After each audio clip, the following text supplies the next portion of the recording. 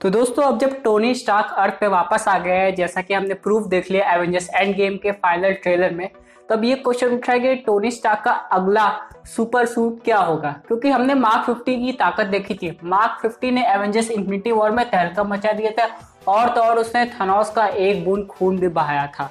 इसके बाद ये खबर आ रही थी कि प्रमोशनल आर्ट में हम लोग को दिखाई दिया मार्क 85 आर्मर तो ये जो मार्क 85 आर्मर है, इसकी क्या क्या खूबी, ये तो अभी डिस्क्लोज नहीं हुआ, लेकिन ये एक चीज़ से इंस्पायर हो सकता है जो कि आयरन मैन का बहुत बड़ा हथियार है।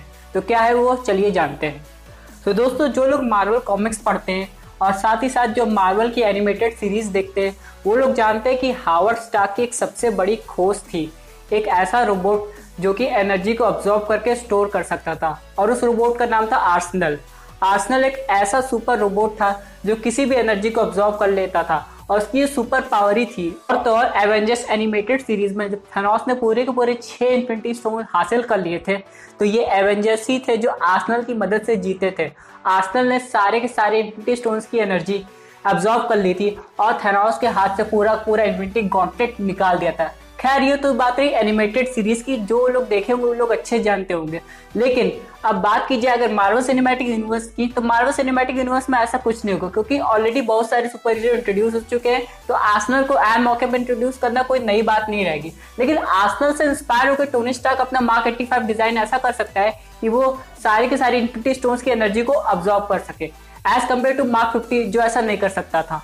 दूसरा बड़ा क्वेश्चन ये आ रहा है कि हमें Arsenal robot Avengers end game में दिखाई देगा तो इसका आंसर है नहीं। हमें Arsenal robot Avengers end game में नहीं दिखाई देगा, लेकिन इसका प्रोटोटाइप हमें हावर्ड स्टार्क के थ्रू दिखाई दे सकता है। क्योंकि हो सकता है हावर्ड स्टार्क की जो स्टडीज़ है, एक बार टोनी स्टार्क को फिर हेल्प करे कुछ ऐसा डिज़ाइन करने में, जिसकी मदद से वो आसनल जितना पावरफुल सूट बना ले, जो कि थेनोस के इंफिनिटी स्टोन्स की एनर्जी को ऑब्जॉर्व करे। वैसे भी दोस्तों, हम लोग सब जानते हैं कि टोनी स्टार्क जब कुछ इन्वेंट करने पे आता है तो वो क्या क्या इन्वेंट कर सकता है।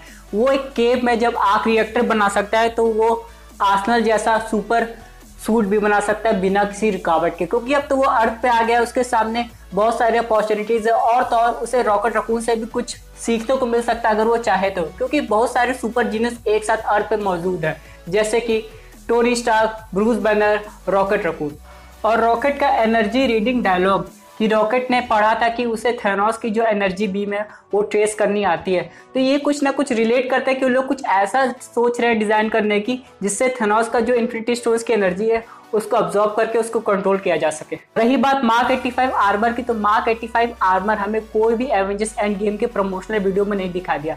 यानी mark 85 armour quantum rim suit से भी बढ़कर है। उसके पास कुछ ऐसी सुपर स्ट्रेंथ है या क्या सुपर स्पेशलिटी फीचर्स है जो कि बहुत ज़्यादा भारी पड़ सकता है थेनोस के स्टोन्स पे। तो दोस्तों, आपको क्या लगता है? क्या टोनी स्टार्क का नया armour mark eighty five armour Arsenal robot से इंस्पायर होगा कि नहीं होगा? कमेंट करके मैं ज़रूर बताएँ। और दोस्तों कॉमिक बुक टॉस की तरफ़ से एवेंजर्स एंड गेम के मूवी टिकट्स के गेम अवे हो रहे हैं। गेम अवे में पार्ट लेने के लिए सिर्फ़ आपको इतना करना है कि हमारे चैनल को सब्सक्राइब करके वीडियो को लाइक करके अपने फेवरेट सुपर हीरोज का नाम कमेंट करना है। तो दोस्तों एवेंजर्स एंड गेम के मूवी टिकट्स जीतने के लिए सब्सक्राइब कीजिए। कॉमिक बुक टॉक्स को. Thank you for watching